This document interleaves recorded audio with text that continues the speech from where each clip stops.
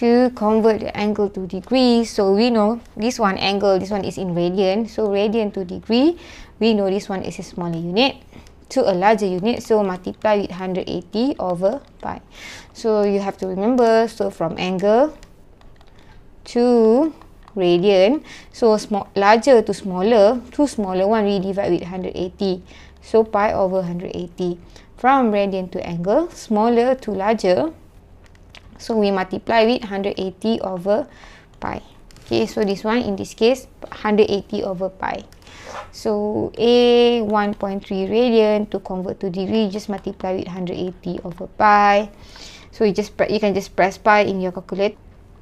74.48 degree. So this one here pi you can directly put pi in your calculator. You see here above the times 10x button on your calculator beside the answer you can see there's pi here so just press shift and this pi or you can manually put 3.142 also same.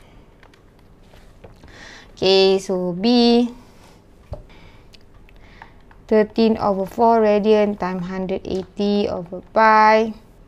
So just press your calculator and you're supposed to get 186.21 degree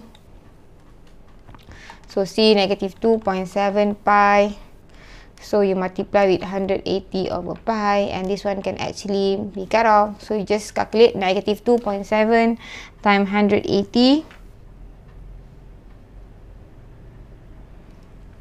So negative 486 degree.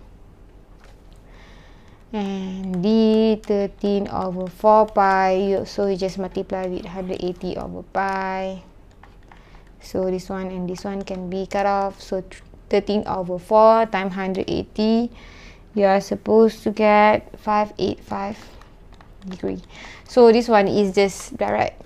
So what you need to do, just remember radian to degree you multiply 180 over pi. So everything just multiply with 180 over pi. And if you need to convert from angle to radian, so you need to multiply with pi over 180. So it's just two of them. Either 180 over pi or pi over 180. You just need to remember which one. Or just remember the concept is okay as long as you know which formula to be used.